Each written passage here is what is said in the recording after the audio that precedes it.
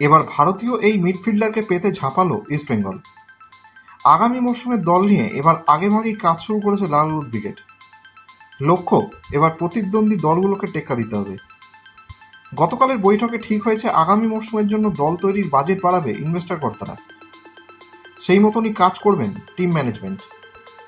জানা গেছে, এবার বেঙ্গালুরু এফসি থেকে জয়েস রানিকে দলে নিতে চাইছে ইস্টবেঙ্গল বাংলার ময়দানে অতি পরিচিত এক নাম জয়েস।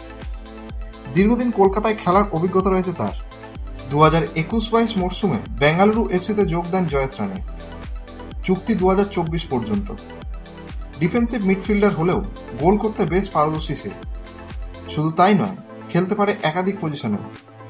তবে গত মরশুমে একেবারেই ম্যাচ টাইম পায়নি জয়েস যার কারণে বেঙ্গালুরু এফসির বিকল্প খোঁজে এই খেলোয়াড়। আর সেই সুযোগকে কাজে লাগিয়েই তাকে দলে নিতে চাইছে লাল ব্রিগেড।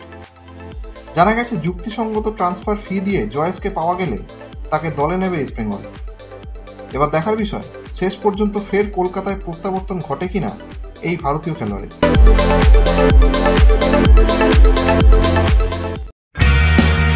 ভারতীয় ফুটবলের সঙ্গে সবসময় আপডেটেড থাকতে এক্ষুনি বং ফুটবল ইউটিউব চ্যানেলটিকে সাবস্ক্রাইব করে নোটিফিকেশন বেল আইকনে ক্লিক করে রাখুন।